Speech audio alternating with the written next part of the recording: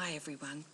Well, my Archangel Raphael card deck by Doreen Virtue arrived today, and I thought what better way to celebrate that than to draw a card for you. So I've done that. And the card today is, let's see if I can get this up. Whoops. Recovery.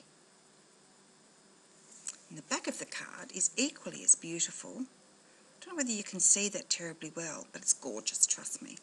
So, recovery.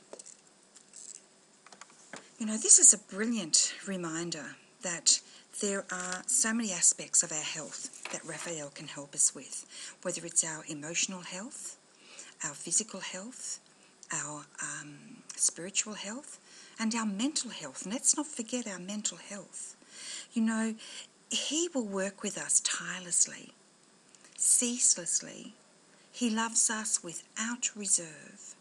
So if you call on him and ask him to help you with any situation, any aspect of your health, any aspect of anyone else's health, and he will come to your aid. You know, a few years ago I had some surgery and I prayed to Archangel Raphael, Raphael I should say, to work through the surgeon. I thanked Raphael for everything that he was going to do, is doing, and would ever do for me. And I had a really amazing experience. Right before I went under, I looked up at the surgeon and I looked into his eyes and I said to him, I want to tell you that I am grateful to you for the respect that you will pay me, for the healing that you are bringing me.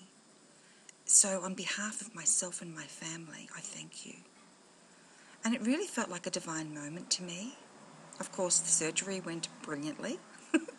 I completely recovered and I just felt a sense of complete peace. So, there is something on the card that I'll read to you. There's a little prayer for you.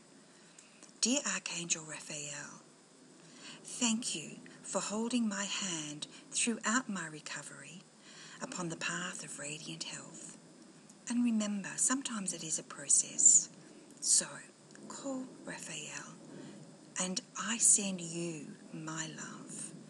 I send you my thoughts of your radiant health.